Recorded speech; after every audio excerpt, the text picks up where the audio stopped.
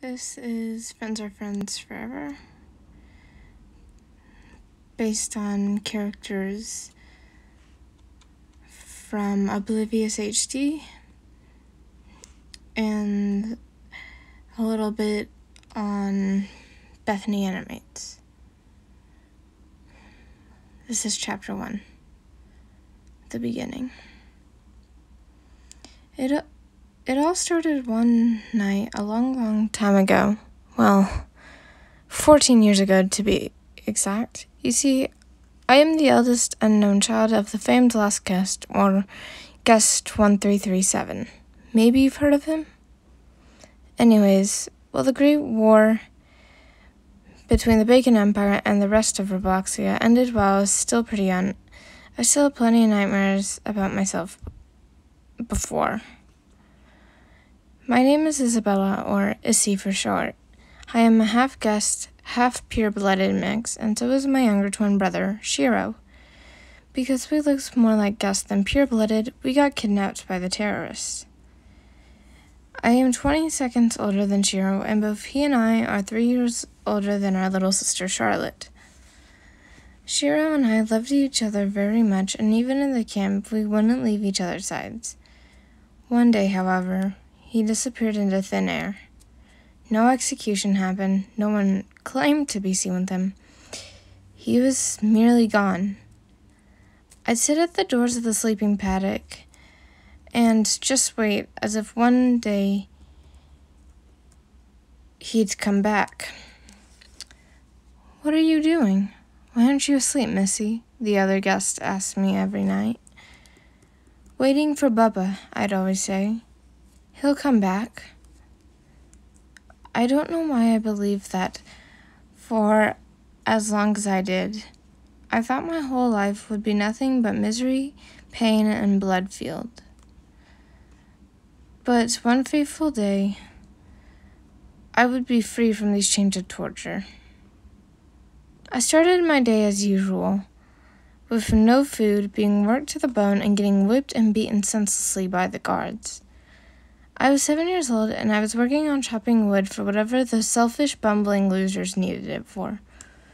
I wasn't even that strong, even for a seven year old, and I had always found a way for my pathetic self to be physically abused as if it was the medieval times. But one day I heard from the Bacon General, months before Zeph, say about the brat of guest 1337's executed immediately. There's no use for someone as pathetic as it is. Plus, if we kill it, the last guest should follow once his blood becomes boiled. Sweat flooded down my forehead as I felt fear consume my body. Some of the other guests heard the general's words as well, and they stopped everything that they were doing with shock in their bruised, scarred, and black eyes. I broke down in tears and started thinking about how painful death would be, and worst of all, how heartbroken dad and mom would be. During my panic and meltdown, I heard a thundering booming sound, followed by an intolerable pain that felt like my chest was being shredded from the inside. My vision became fuzzy as I looked down to see a gaping, crimson hole going straight to my heart. I fell to the ground and breathe, my breathing became sparse until finally everything went black. The last thing I thought I would ever hear was dump the body, make sure the police or guest six not guest 66 guest 1337 never find it. That was the end for me, or so I thought. Call me M. Night Shyamalan because this story takes a few twists and turns. Of course, I didn't die, but only because I had a savior. Chapter 2 The Savior. Told you this story would continue. After being shot pretty much dead, a guard placed me in a trash sack and left me on the side of a fielded road. The spot was deserted and about two hours away from the Empire, not to mention extremely secluded. So, yeah, it looks grim, I know, but someone will come along, and that someone is my best friend. A feisty, egotistical, orange haired 18 year old woman was walking with her dog, and she saved my life. Her name is Bethany, and her dog Rex and herself were walking down a path. They were coming back from some sort of mission when Beth's eye was caught by the glistening black plastic of the trash sack.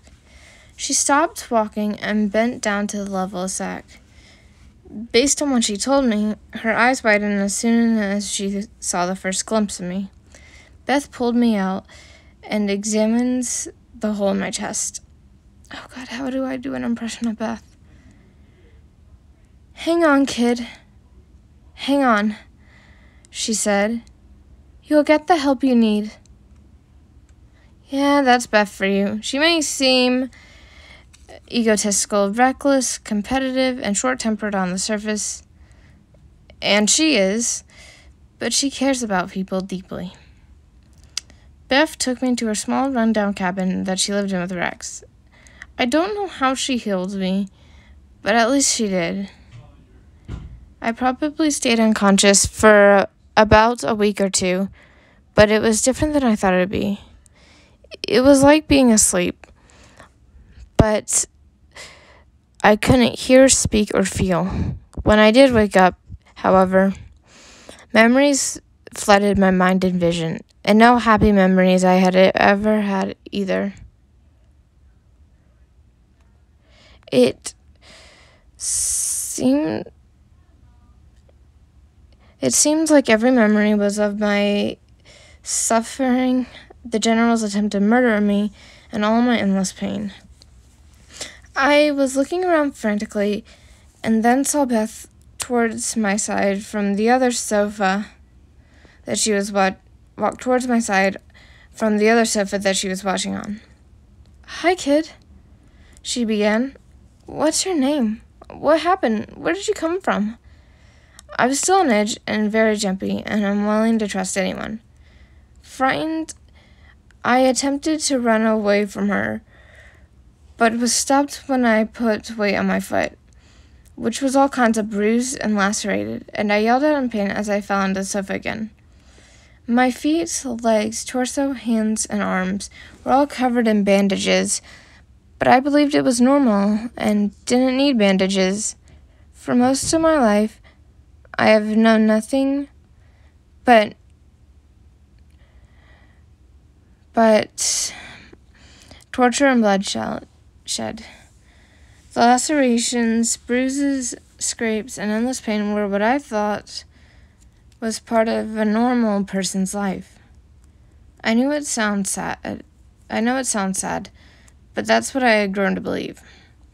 Beth looked at me with even more concern than she had ever felt before as she put her hand out to shake mine.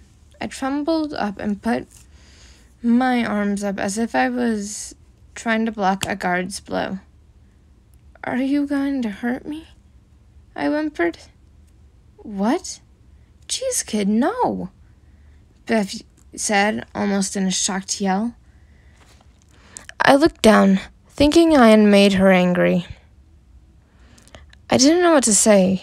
I hadn't talked to anyone other than distressed, glum, and even suicidal guest.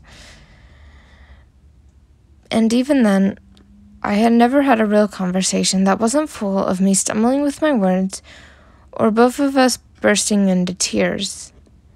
Beth and Rex stared at each other, not knowing what to do with me. I'm sorry. Did I say something wrong? I implored. I could tell that Beth was concerned for my safety, yet I didn't think she cared that much about it at the time. She walked off for a moment, but then came back with a baby blue short sleeved shirt and a medium length snow white skirt. They were about my size, and Beth gestured for me to take the clothes, saying, Here, Take these and put them on.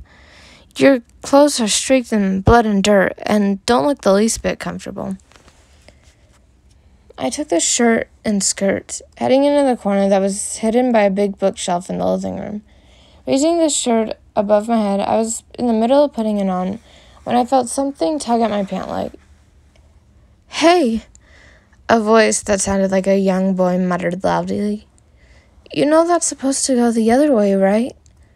I glanced down and saw a dog with fiery red eyes with a golden sclera, an orange tan coat of fur, yellowish blonde ears, a peach colored tuft at the top of his head with a darker peach tip to it, and a shiny black nose.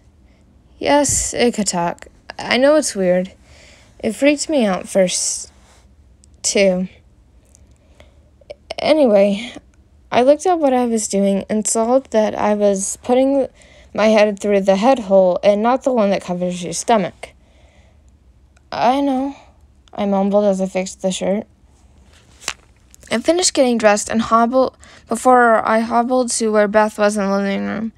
When she saw me, Beth patted the spot onto the sofa, where she motioned for me to sit down at. I was leaning on everything that was in sight, as my feet felt like they were being crushed by a sledgehammer every time I put weight onto them.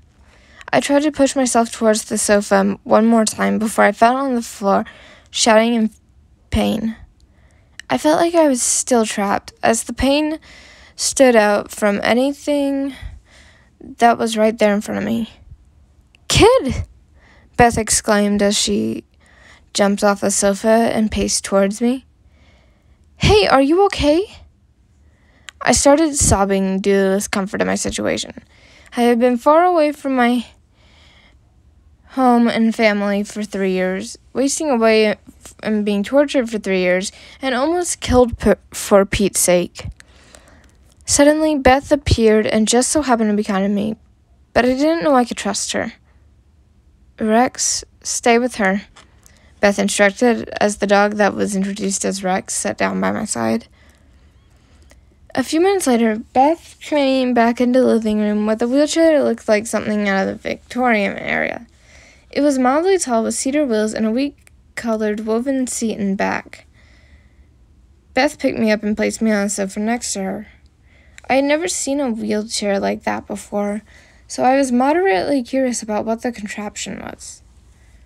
I tugged on the sleeve of Beth's beige sweater, and while pointing to the wheelchair, I asked, What is that? It's a wheelchair, she explained.